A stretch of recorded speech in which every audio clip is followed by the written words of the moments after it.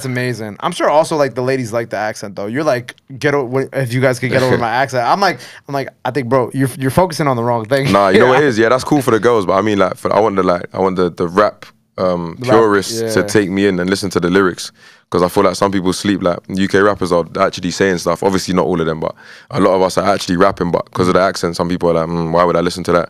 Do you, think that's a big hurdle that you have to overcome? I think that's the only hurdle. I'll be honest with you. I don't think there's any other hurdle, bro. I Mm. just think that's the only hurdle because, like I said, London and New York are very similar. Like the attitudes, you know what I'm saying? Like the, the culture, the way we live our lives, like the things that we, we jack and don't jack, you know what I'm saying? So I feel like the only hurdle was the accent.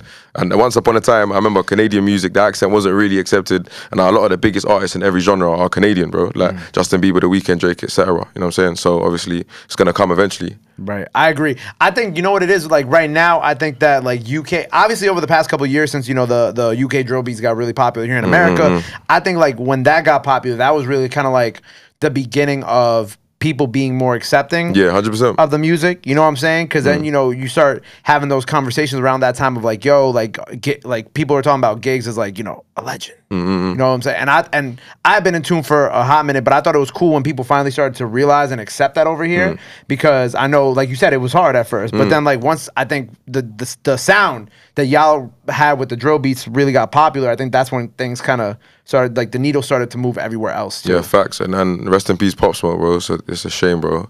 We miss him. That was a massive talent, and I feel like he was really about to permanently bridge the gap. I'll be honest, bro. I feel like he was the one because he came over to London. He was showing everyone mad love. He was on tour with Skepta, you know what I'm saying? He was linking all the man them, and he was very authentic. Like when I spoke to bro, he was super authentic. Like he knew about some of my tracks that aren't that big, you know what I'm saying? He just d- done his research and like when, before he met me. He's a cool guy, man. He was a cool guy, rest in peace. But I feel like things like that, people being open-minded, uh, open-minded and accepting. Like when I come over here, I don't care like how big an artist is. Like if I think you're hard, then obviously I'm gonna rock with you, you know what I'm saying?